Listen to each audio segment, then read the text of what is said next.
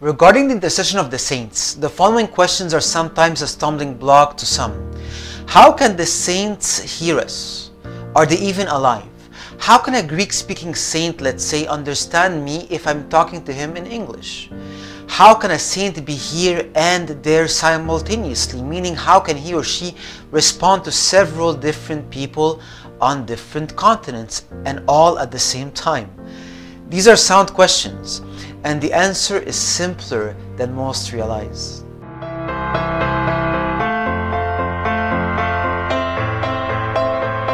Welcome to Answers from an Apostolic Faith.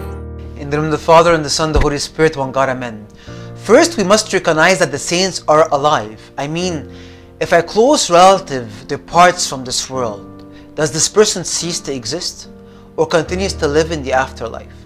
If I answer the person ceases to exist and therefore is dead, then why am I even a Christian? Christianity's ultimate good news to the world is that Christ conquered death through his death and was raised from the dead, and thereby giving eternal life to humanity in him. If my relative is dead when his or her soul leaves the body, then my Christianity is false, meaningless, God forbid. In Matthew 22, Christ clearly says that God is not the God of the dead, but of the living, referring to the patriarchs Abraham, Isaac, and Jacob, who left this world centuries before the incarnation. Also, we see Moses and Elijah appear in the transfiguration on Mount Tabor. When we leave this body, we are not less alive but more. And more importantly, in John chapter 8, Christ said the following as he was reasoning with the Jews Your father Abraham rejoiced to see my day, and he saw it and was glad. Then the Jews said to him, You are not yet fifty years old, and have you seen Abraham? Jesus said to them, Most assuredly I say to you, before Abraham, Abraham was, I am. The beginning of the answer to all these saints related questions is given here. The Jews thought from an earthly perspective. How can a man who is not even 50 years old have met Abraham? They missed the point. God is the great I am. He is the one who is always in the present tense, if you will. He is timeless always above this chronological time, above time and space. And this is precisely the condition the saints are in. They are above time and space. The Jews looked at Christ's physical body with their physical eyes and fail to recognize that he is indeed spirit and divine. Similarly, when we ask ourselves these questions regarding the saints, we falsely assume that they are still in our limited physical condition. In fact, they are now more alive and their own reality is different than ours. Our souls are not material but spiritual entities. So is the spiritual glorified body we will receive. The characteristics of those souls and bodies are very different from our current corrupted bodies. This can clearly be seen through the latest near death experiences scientifically recorded in our contemporary age. Vicki Umipeg Noratuk is such a case a woman who was born blind, but after her near death experience, meaning after her soul left her body and came back, she was able to accurately describe physical appearances of deceased relatives and friends.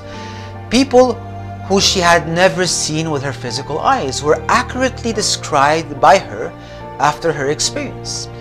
In their scientific study, Kenneth and Cooper say the following the blind persons in our study saw what they certainly could not possibly have seen physically.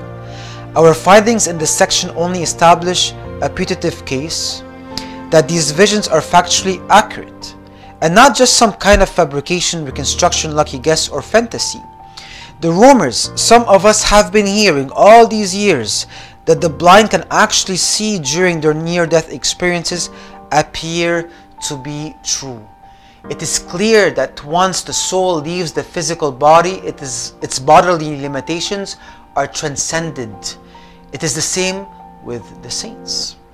But the afterlife does not transcend only time, it transcends space and matter as well.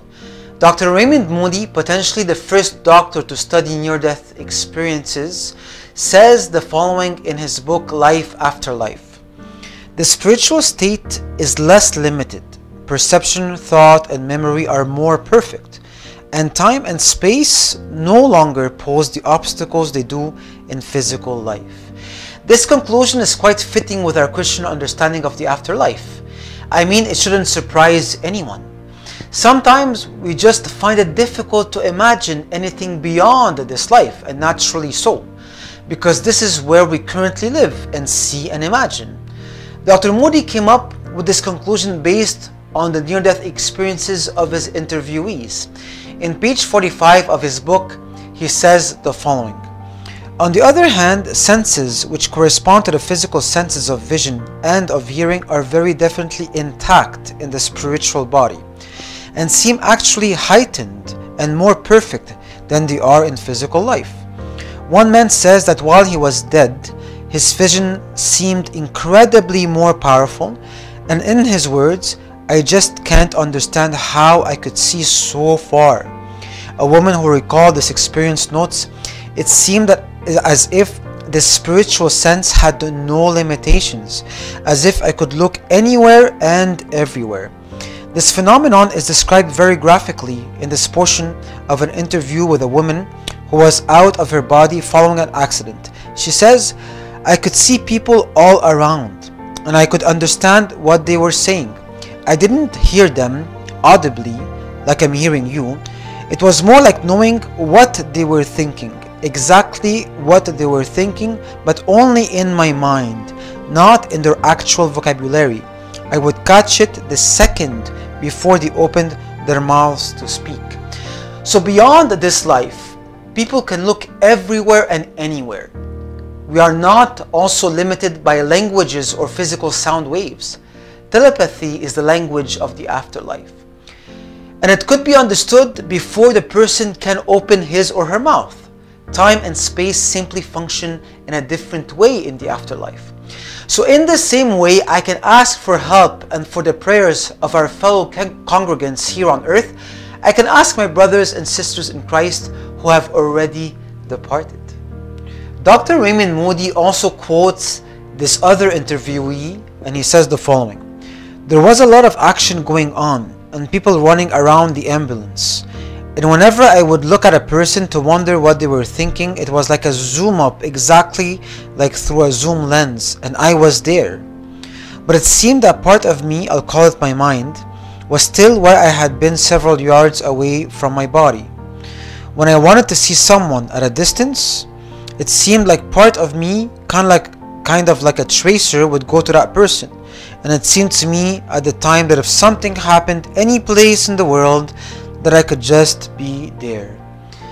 Now, he says, and it seemed to me that if something happened any place in the world, that I could just be there. Those are very interesting and meaningful words.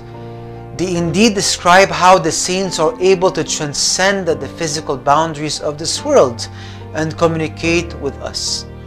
These spiritual realities are experienced daily in the Orthodox Church, and instead of denying these realities and veiling ourselves from the spiritual, we ought to thank God for His gifts and embrace what is beyond our understanding. Today, many Orthodox Christians enjoy relationships with the saints who have left this physical world, and we should follow in their footsteps.